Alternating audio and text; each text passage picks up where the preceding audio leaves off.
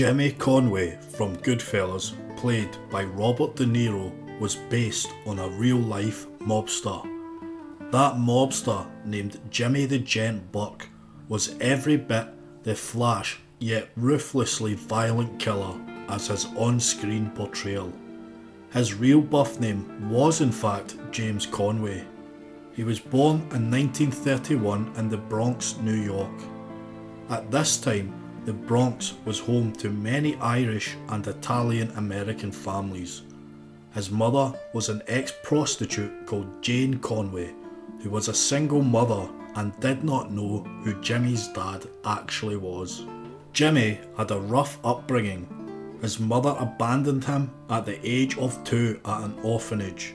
His childhood was severely unstable, going from one foster home to the next.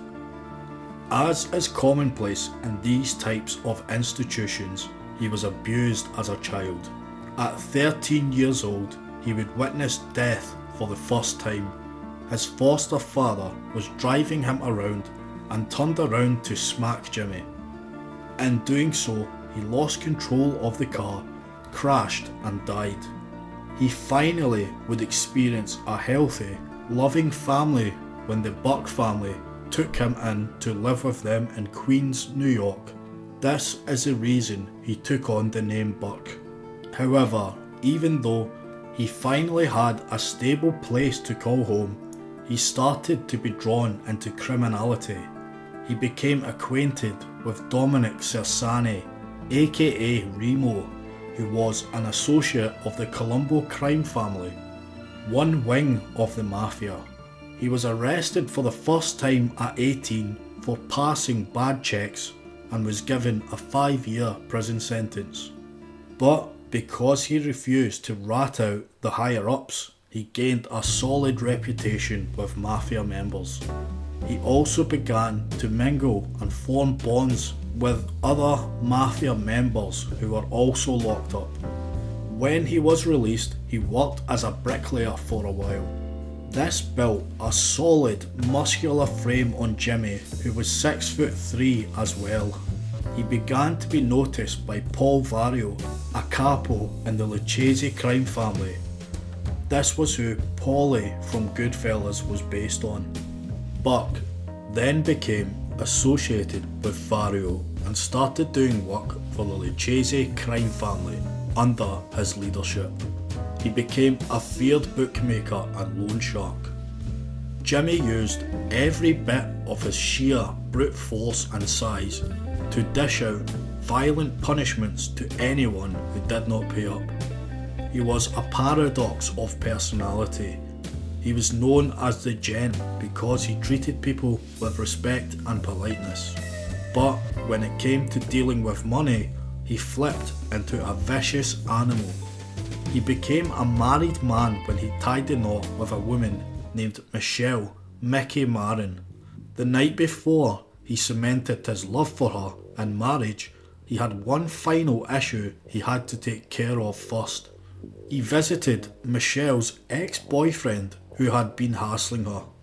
He murdered him with a chainsaw.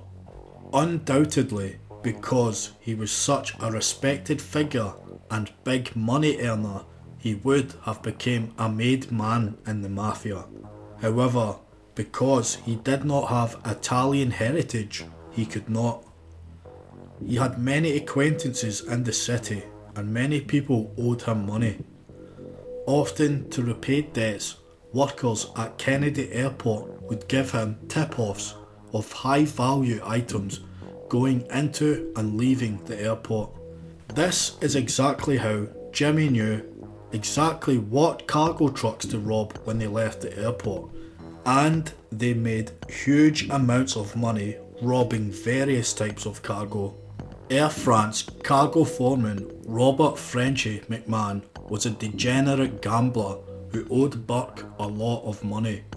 This is how Burke managed to get information about a large holding of cash he could steal from the airport. However, they needed the key from the airport's head of security. So what they did was pay a prostitute to seduce him. And when he was occupied, Henry Hill stole the keys and made copies. Henry Hill and Tommy DeSimone, as featured in Goodfellas, easily walked into the airport vault at Air France using the copied keys without resistance.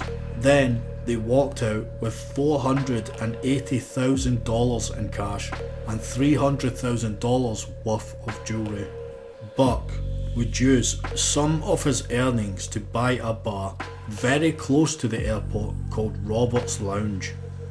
This would become a mafia hangout, including an underground club. He would also use it as an operation to gather tips on the airport, as workers would often frequent the bar. Hijacking the trucks would continue and would be done with military precision. Jimmy would use Tommy as his attack dog when people refused to get in line with his business operations. For example, Tommy was sent to strong arm a foreman who refused to take a bribe. Unlike his on screen portrayal, Tommy was actually a well built unit. He was 6 foot 2 and around 230 pounds. However, the overzealous psychopathic DeSimone beat him to death at his own front door.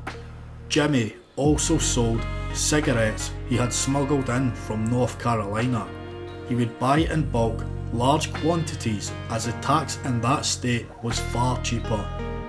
He then took them to New York and sold them for a much cheaper price than official tax bound sellers. He used his old friend Remo to help transport the cigarettes. However, when he was caught, instead of keeping his mouth shut, as a young buck had done for him, he turned informant after finding out about the portrayal from one of his own sources, Jimmy took him for a drive. Tommy DeSimone, who was sitting in the back seat, then strangled him to death with a wire. In 1971, made man Billy Batts, who once ran Jimmy Burke's loan sharking operation, was released from prison. There was a welcome home party at Robert's Lounge for Batts. Much like in Goodfellas, Batts began to insult Tommy about being a shoe shiner when he was younger. Tommy had known Batts since he was a child and had actually regularly shined his shoes. However, Tommy was now a fully fledged, large adult who was also a psychopathic, remorseless killer. Tommy attempted to attack him there and then but was stopped by Jimmy. But two weeks later, he would get his chance at Henry Hill's nightclub, The Suite.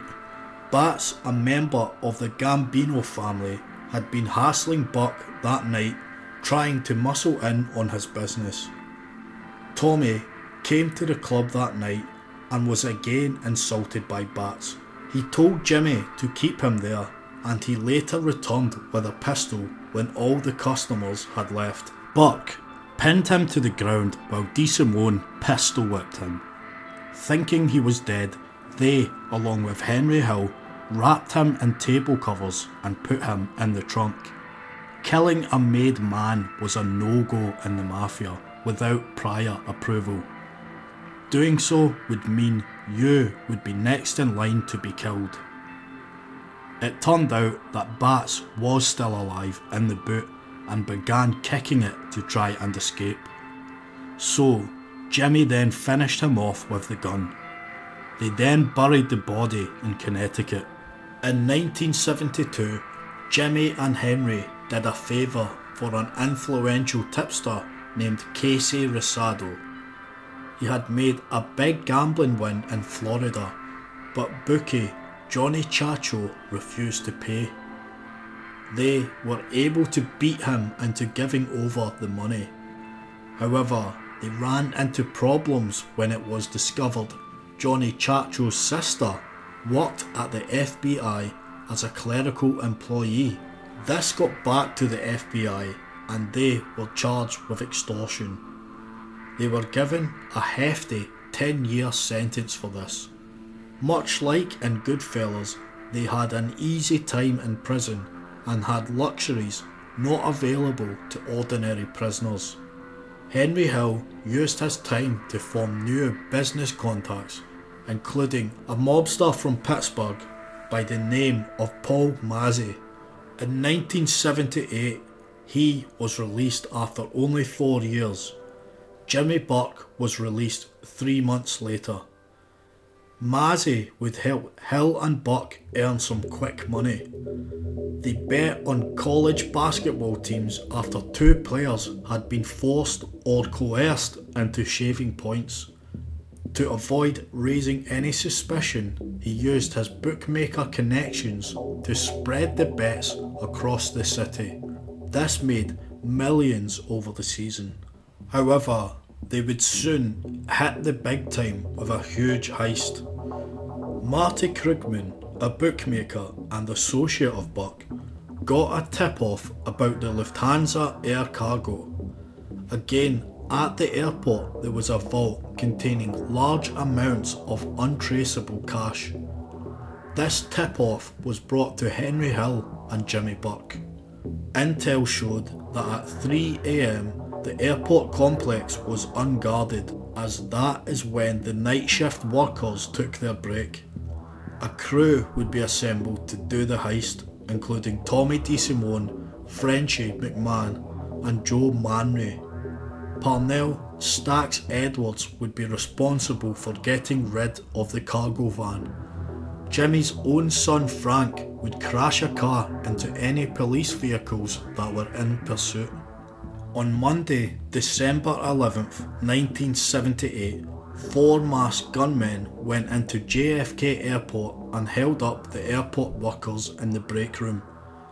They tied them up but took the ground supervisor with them who was then forced to open the vault. They then loaded up a van for half an hour. 72 boxes of cash, bullion, and jewellery were taken. There was no reason for a crash car as they escaped smoothly. In total, $5 million plus $800,000 in goods were stolen.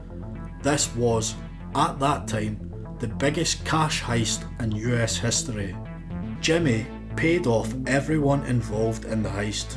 However, he paid them based on agreed earlier estimates.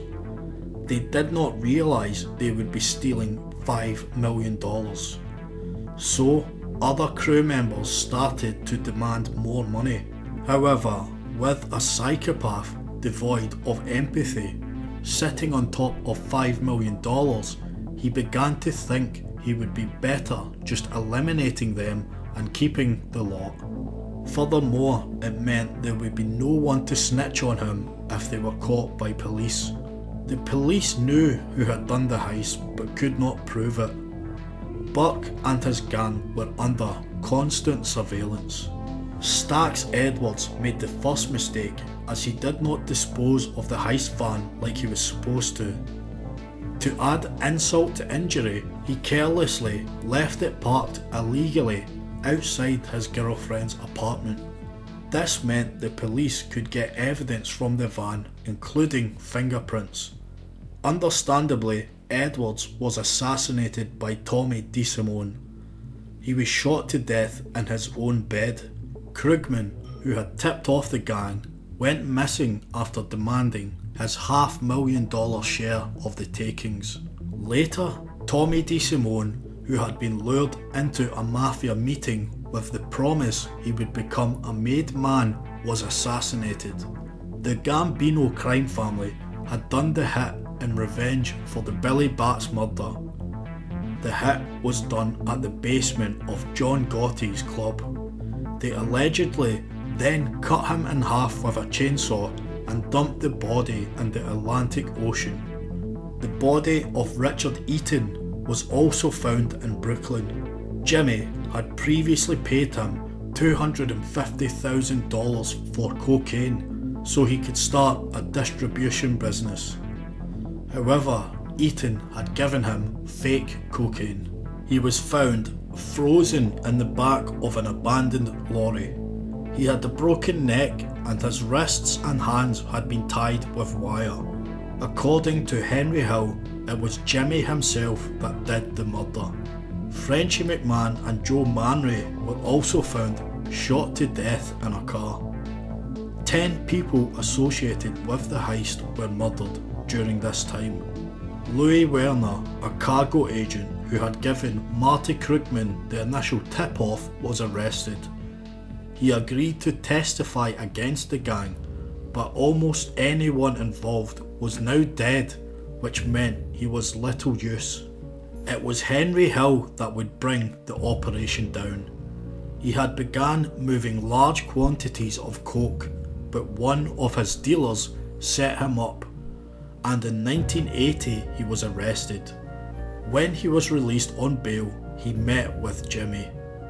Jimmy gave him a location in Florida to go to to escape the police. However, Hill believed this was a move to have him assassinated. So, Hill instead went to the FBI and started cooperating against Burke. He was given immunity in exchange for his testimony. Not only did he spill the beans on the heist, but he also gave evidence of murders not connected to it.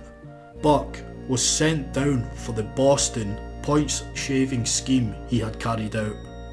He was given 20 years. He was then given a further 25 years for the murder of Richard Eaton, but was never convicted for masterminding the heist. He died in prison of lung cancer in 1996.